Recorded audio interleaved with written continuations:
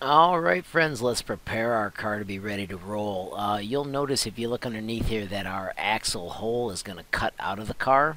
We need to fix that by adding some sort of support underneath. I want to fix it with the round roof. Uh, and I need a flat piece of the car to add the round roof to. So I'm going to go right to the middle. And I'm going to bring out a round roof.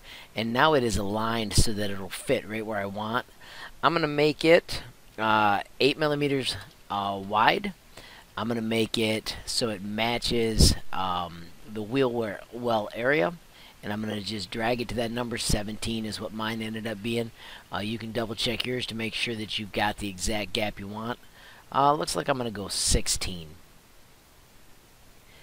And then I only want this to be 2 millimeters thick, which I can change by just clicking and typing 2. And I've got that aligned right about where I want it.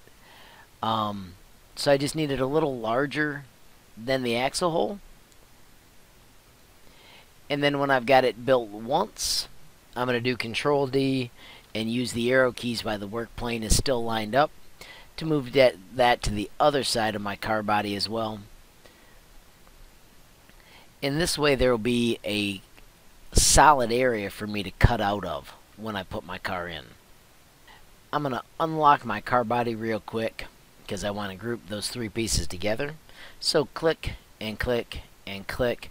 Double check that I've got three shapes and I want them to group so that my car body now has the ability to have this cut out of it without having a hole. So it'll make it sturdy. Yet you can see there's still clearance that the wheels will still roll. When you got yours like that, head to the next training movie.